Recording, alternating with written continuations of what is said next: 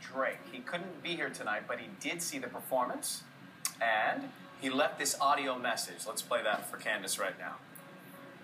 Hey Candace, what's going on? This is Drake, and I just wanted to let you know that uh, tonight I was at home, and uh, I know what it is to be in your position, be under heavy scrutiny with all those tough judges. But I wanted to let you know that I was so honored that you sang my song, and you did such an incredible job. You have an angelic voice. I almost wish you were there in the studio creating it with me. I feel like we could have brought it to life together. But I,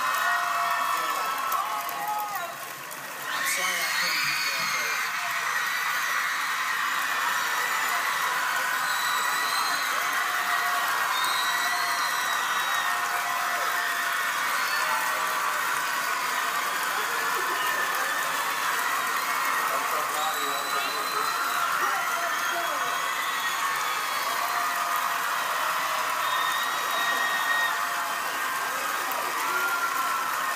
Don't run from it. Don't run from it.